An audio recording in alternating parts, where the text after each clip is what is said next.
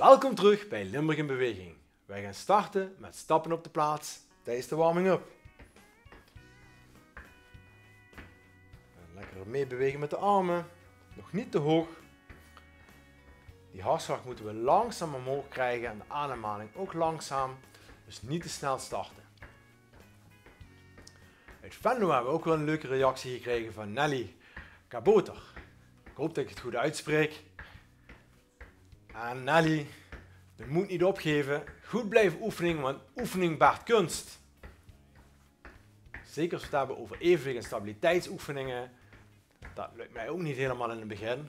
Maar ik oefen ook stiekem. Dat doen we lekker in het weekend met de kinderen. Dus blijf met ons meedoen. En over een week of zes kun jij al onze oefeningen uitvoeren. We houden nog even vol.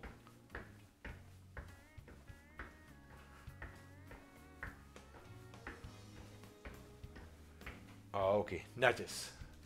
We gaan dadelijk de boxspringetjes maken. Nou, langzaam zo heen en weer. Je mag meedoen. Elke keer op één been. Vind je dit moeilijk? Neem dan even de stoel erbij.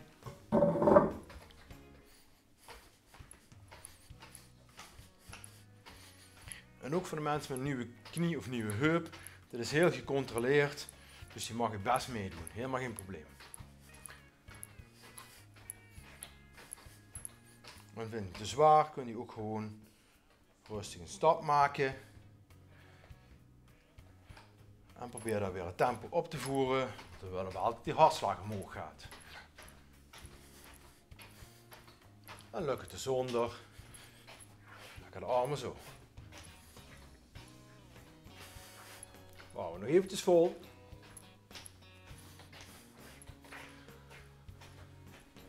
Even volhouden. Oké, netjes. Dan gaan we naar de Ierse dans. Want in Ierland, daar hebben ze wel wat voetenwerk. Dus dat betekent dat we heel veel sprongetjes gaan krijgen op die manier. En dan gaan we een beetje met die benen.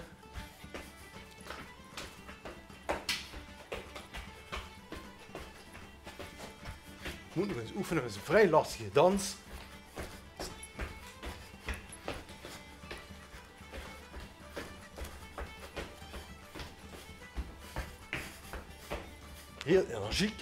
Alles op je tenen.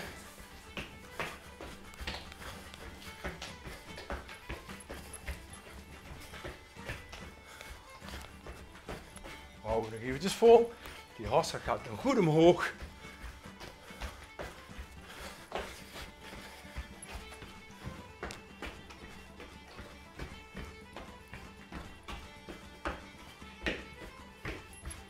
Altijd iets met de armen. Volhouden.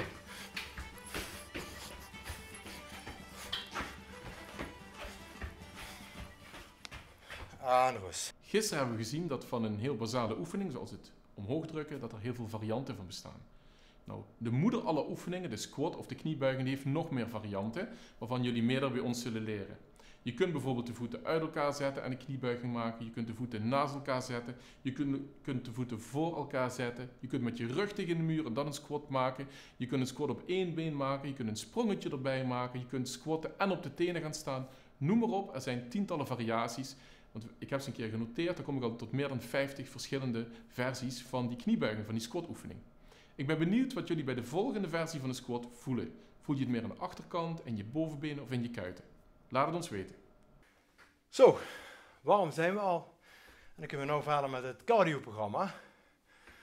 We gaan eigenlijk eh, squatten met de voeten tegen elkaar.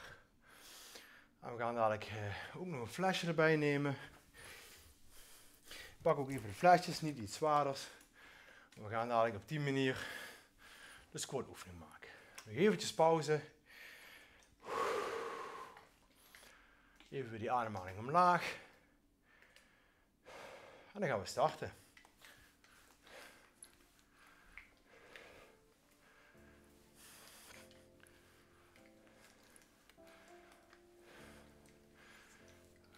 Dat een cardio-programma is, proberen we wel het tempo lekker hoog te houden.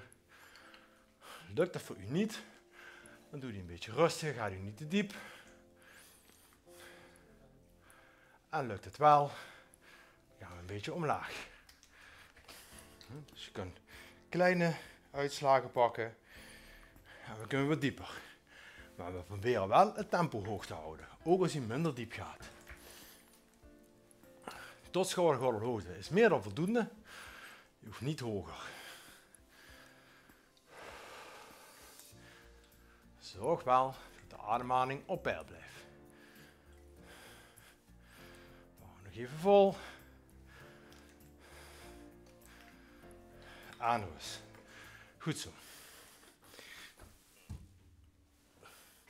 Nou, als alternatief stapje hebben we de handdoek nodig. Stoel erbij. En we gaan een stukje naar achter met de handdoek. Een hele voorbereiding. Ik ga hem nog voordoen, je hoeft nog niet mee te doen. Plaats ik je handen hierop. Tenen alleen op het handdoekje, de niet. De heupen ongeveer 90 graden. En dan gaat hij dadelijk in deze houding zo omhoog komen. Terwijl die heupen gewoon in 90 graden blijven.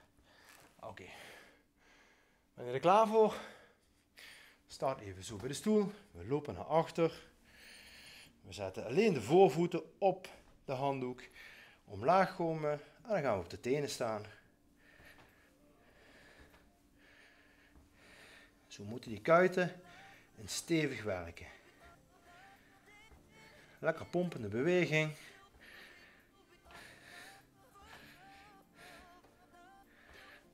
Proberen vol te houden. Best een zware oefening. Je krijgt er goed warm van. Maar dat is niet erg. Dat is pure winst. Het zijn allemaal calorietjes die we verbranden. Vind dit even zwaar. Pak dan eventjes rust. En daarna gaan we weer verder.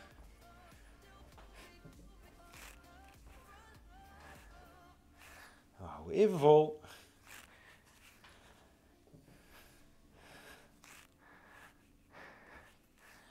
En even rust. Zo hé. Eventjes de kuit een beetje los bewegen. We gaan dadelijk een beweging maken. Het handdoekje kan eventjes weg. Met een flesje.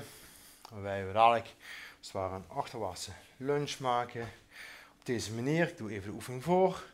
En dat gaan we combineren met als we naar achter gaan, die arm, de arm omhoog strekken. Op die manier. Nou, dan vragen we iets van uw evenwicht, eventueel vingertje of twee wat steun pakken. We gaan starten. We gaan eerst 30 seconden naar de ene kant en dan wisselen we naar 30 seconden. Het is geen krachtoefening, maar een cardio-oefening. Dus we gaan het tempo weer een beetje opvoeren. Bouw dit ook rustig op. Niet te veel spanning op de kuit zetten. Niet dat we dadelijk blessures krijgen. En we gaan wisselen. Pakken de andere kant. De stoel aan deze kant. Hop.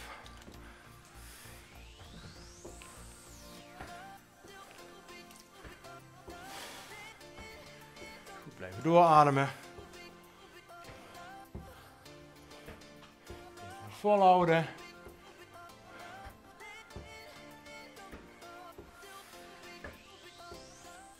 Oké, netjes. Nu komt de speciale topper van vandaag, de deadlift op één been. Deadlift op twee benen hebben jullie ons uitgevoerd. Je gaat recht naar voren met wat gewicht in je armen, maar nu gaan we het op één been doen. Een van de allerbeste oefeningen om kracht en stabiliteit in de bilpartij en het bovenbeen te genereren. Probeer hem heel goed uit te voeren. Kijk goed naar Erik, want je moet je rug en je hoofd en het been dat naar achteren strekt in één lijn houden en dan de oefening goed en rustig uitvoeren. Heel veel succes! De topper van de dag. Wat is de topper van de dag vandaag? We gaan dadelijk soort deadlift maken. Pakken daar een gewichtje in ons hand voor mooi stabiel te houden. Ik doe even de oefening voor, het is een moeilijke oefening. Gaan daar met de benen achter. En als de kleper van de klok blijft je arm gewoon omlaag hangen. Dus op deze manier gaan we eerst 30 seconden deze zijde doen en dan de andere zijde. We gaan starten. Dus zorg wel dat de koffie even is weggehaald, want anders ligt hij nu al op de grond. Dat zou zonde zijn van die lekkere koffie die we na dit programma zeker verdiend hebben.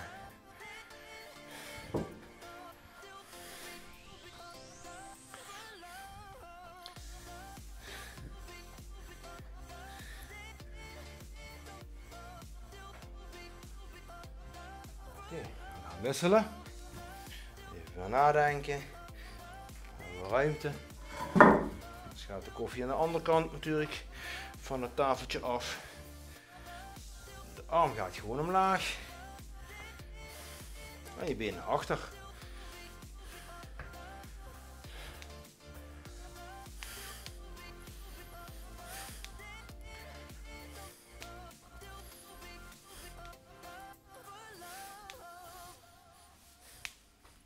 Oké, netjes. Nou, we gaan naar het voetballen. We gaan de bal hoog houden met de knieën. Een beetje plaats maken, stoel weg. Vloei hetzelfde. Een beetje ruimte hebben, die bal kan naar links en naar rechts gaan. En we gaan elke keer wisselen. Dus we gaan zo op die manier. Even een paar keer op deze kant. En dan een paar keer op die andere kant. En misschien wel even afwisselen. Oké, we gaan beginnen. Even een paar keer hoog houden aan deze kant. En een paar keer hoog houden aan die kant. Ze een paar keer wisselen. Wel een paar aan deze kant. Een aan deze kant. Een paar aan deze kant. En dan even wisselen. Pak eventueel een extra steuntje erbij.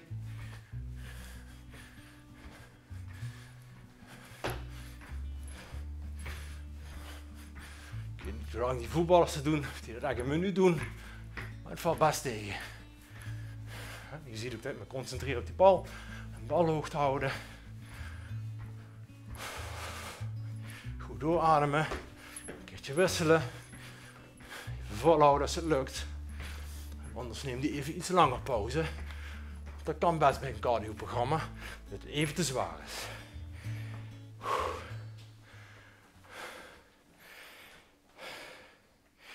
Als we natuurlijk hoog hebben gehouden met de knieën, dan gaan we natuurlijk ook hoog houden met de voeten.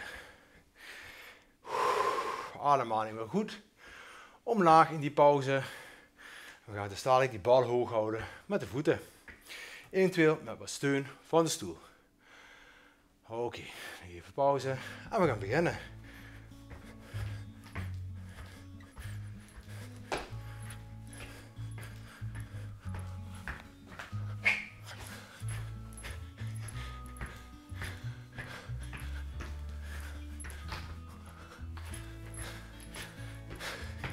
Ja, Bjorn niet erop staan. Is ook geen voetballer. Nee, zo'n armen krijg je niet van de voetballen. Ja, hij zegt van ingooien. Amahula.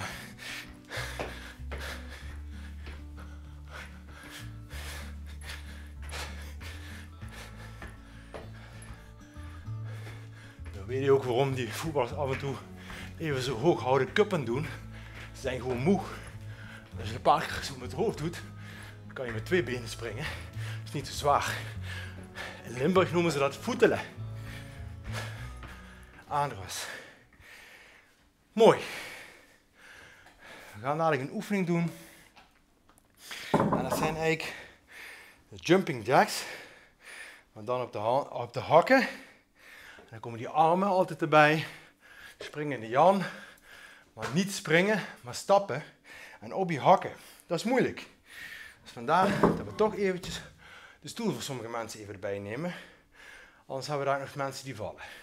Op de hakken lopen. Een keertje zijwaarts. En lukt dat goed. Dan gaan we voor de mensen die steun hebben. Op die manier de oefening uitvoeren. Voor de mensen die dat er zonder kunnen. Op de hakken. En dan gaan we een beetje weer die snelheid erin brengen. Want het was wel een cardioprogramma. Dus dat betekent wel dat ik op het einde van de uitzending in het zweten moet zijn. Want dan is goed de hartslag omhoog gegaan. Dat is de bedoeling van dit programma. Ik zou bijna zeggen dat dit een kuitenprogramma is. Want die voel ik ook. Maar is niet erg. Dat is pure winst. Goed zo. Ook de scheenbenen worden nou moe. Die moeten nou natuurlijk aanspannen. Hou nog eventjes vol. Als dat lukt de mensen. Oké. Ja, dit was echt de scheenbenen niet te kuiten. Correctie. Dat is voor als je zelf meedoet als uh, trainer. Dan maak je ook waar de schoen klem zit en waar het brandt. Want ook bij mij, is de volgende oefening, brandt het af en toe. Jullie hebben nog even eh, rust. Ik deel alleen even de volgende oefening voor. Ik hoop dat jullie ook zo'n handdoekje hebben. Zo niet, Mia kan heel goed uh, borduren. Te bestellen bij Mia.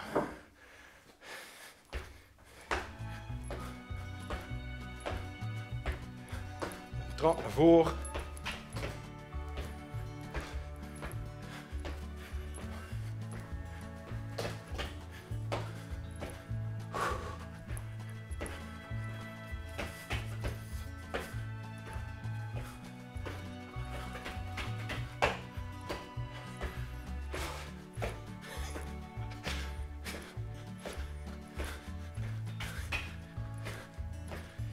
Het evenwicht, geen probleem.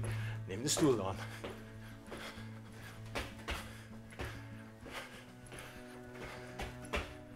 Hou even vol. Je maakt vanzelf, als je even versnelt, moet je ook je buikspieren aanspannen.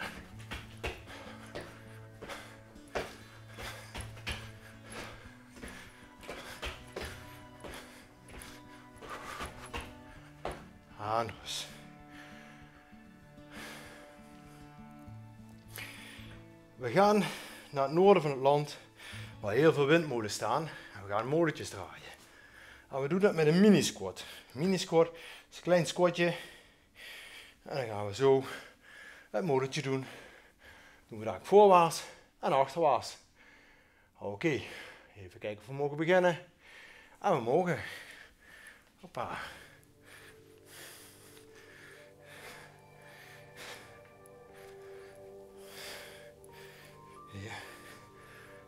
Ik zou bijna zeggen dat ik een slag van de molen heb gekregen. Nou, hebben we hem dus achterwaarts.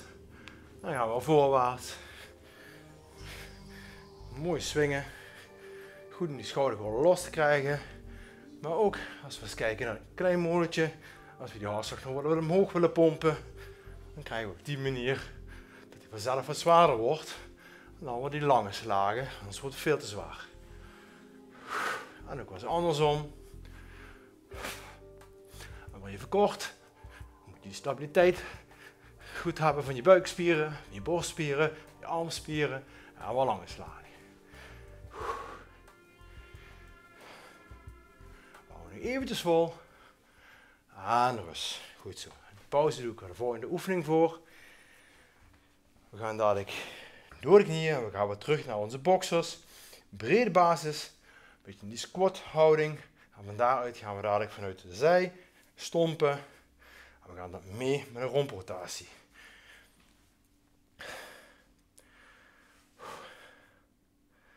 Mooi, we gaan starten. Er mag eigenlijk een beetje versnelling bij zetten. kan die agressie in struit.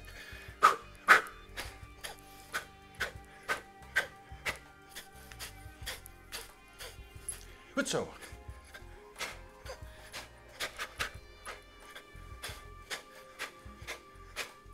Beetje lager, dan krijg je nog wat meer uitdaging.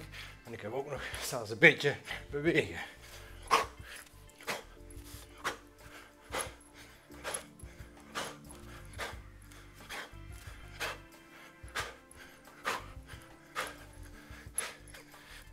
Nou, even rustig kun je eigenlijk ook tijdens de oefening op adem komen door even tempo wat omlaag te doen. Dan hoef je niet helemaal voor te stoppen. Gewoon wat rustiger bewegen, wat minder diep zitten. En dan kom je ook tijdens de oefening een beetje op adem. Goed zo. Vaak zeggen we deze oefening is voor de biceps, deze oefening is voor de bilspier, voor de benen. Maar wat we eigenlijk bedoelen is dat we een oefening meer focussen op een bepaalde spiergroep. Het allerbelangrijkste is het uiteindelijke doel van een oefening. Wil ik meer kracht genereren in een strekbeweging of in een buigbeweging? We kunnen namelijk niet zeggen of de volgende oefening voor een biceps is of voor je bovenbeenspieren. Het hangt van heel veel factoren af. Wat heb je eerst getraind? Wat heb je gisteren getraind? Heb je pijn in je rug? Heb je pijn in je been? Waardoor andere spieren het meer gaan overnemen? Misschien voel je niet goed vandaag. Dus we kunnen nooit met zekerheid zeggen dat een bepaalde oefening voor een bepaalde spiergroep is. We proberen alleen maar aan te geven wat het centrale doel is van de oefening. En we gaan naar de rekoefening over. We gaan beginnen met een spreidstand, de hamstrings te rekken. En op deze manier eventjes doen. Nou, voor de duidelijkheid, zet de voet een beetje 45 graden, knie gestrekt, holle rug. En ik ben ook deze hamstrings aan het trekken, niet die. Die ben ik aan het trekken. Hou even vast.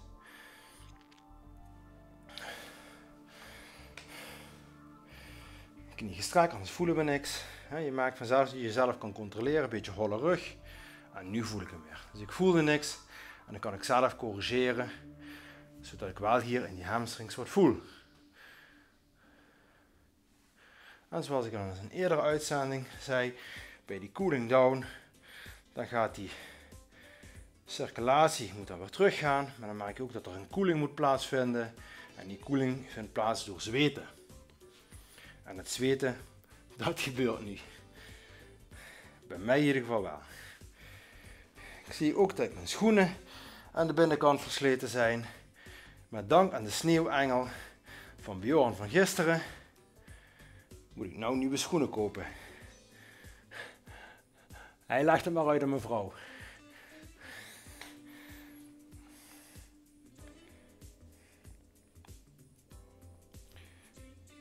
even vast.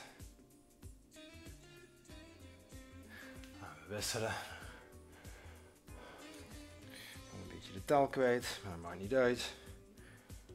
Ja, ik zie dat we er drie hebben gehad.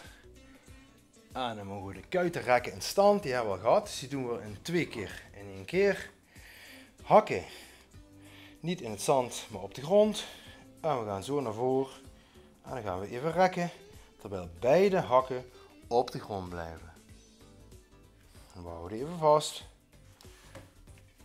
Tussendoor doen we even het zweet afvegen. Even rust. En we gaan naar voren. Mooi zo rekken. Dat je in één lijn bent. Je benen, je onderbenen, je bovenbenen en je rug. Terwijl je hakken op de grond blijven. En dan voel je lekker rek in het bovenste gedeelte van je kuit. Want dit zijn de lange kuitspier wat je nu rekt. En die lopen over twee gewrichten. En de laatste keer even vasthouden. Ademhaling op peil brengen. En dan komen we bij de laatste oefening. De laatste oefening is de quadriceps. Die doen we één voor één, want dat gaat mis. We pakken hem zo vast. We rekken weer mooi. We gaan rechtop staan, dan pas voel hem goed. En dan gaan we even wisselen. De variant voor de mensen met knieklachten. Knie wat losgelaten, eventueel op deze manier. En je heup wat meer strekken. Dan heb je hetzelfde effect, maar met minder kniebuiging, meer heupstrekking. En dan krijg je toch een quadriceps gerekt. Geen probleem, je kunt gewoon meedoen. We gaan wisselen. Ik pak hem weer even op mijn manier. Dan sta ik wat rechterop, vind ik prettiger, maar beide is goed. Ik voel duidelijk de rek aan de voorkant van mijn dijbeen.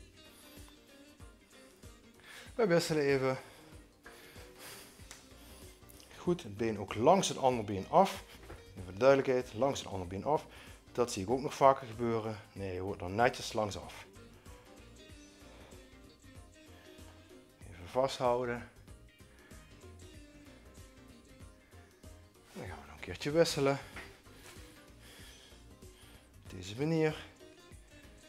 Mooi rechtop. 10 tot 15 seconden vasthouden. En dan een keer de linkerzijde. En dan is die ademhaling ook weer rustig geworden. Dat is soms ook fijn van even rustig te rekken. Doordat je het langer moet aanhouden, krijg je eigenlijk vanzelf dat je rustiger wordt. En dat de ademhaling en de hartslag langzaam weer naar beneden gaat. Mooi. Dit was uh, het einde van deze cardio training. Morgen belooft een special te worden.